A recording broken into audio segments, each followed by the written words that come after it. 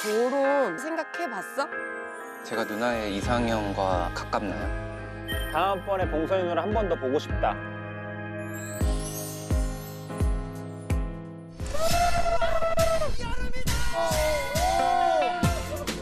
원기 회복이 좋겠다. 음, 진짜 맛있어. 대박이다.